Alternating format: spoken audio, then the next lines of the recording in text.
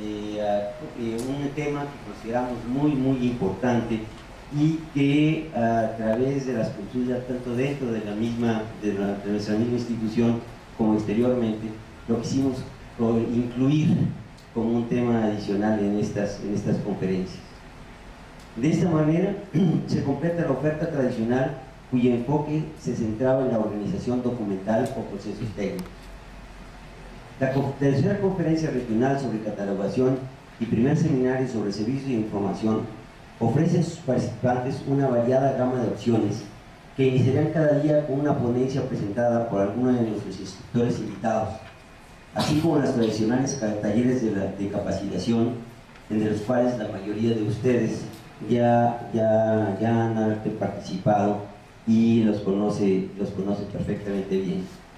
En ellos se tendrá la oportunidad de actualizar sus conocimientos gracias a la participación de excelentes investigaciones que gentilmente han accedido a compartir sus conocimientos y experiencias durante estos foros. No obstante que la segunda, por diferentes razones, esencialmente por la disponibilidad del año pasado de nuestros conferencistas, esta, eh, la segunda conferencia regional sobre catalogación se celebró el pasado mes de noviembre eh, del 2010. Eh, retomar la tradición de hacerlo en marzo mm, siempre nos, nos preocupó de que a la hora de ponernos tan cercanos uno del otro, pues íbamos a tener poca asistencia. pero no obstante eso, hemos tenido una, una gran demanda lo cual pues también ha recaído sobre los propios organizadores que han tenido que trabajar tiempo extra, extra eh, para que esta conferencia pudiera tener lugar, retomar su tradición de, organizarse en el de septiembre. Quizás en marzo, quizás,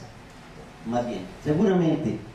el, el renombre de los ponentes e instructores y la calidad de los contenidos y la variedad en la oferta de detalles para este año nos hizo superar las expectativas. Los grupos se tuvieron que ampliar eh, para poder dar respuesta a la, eh, a la demanda, pero aún así, desafortunadamente, muchos de nuestros compañeros se tuvieron que quedar en lista de espera.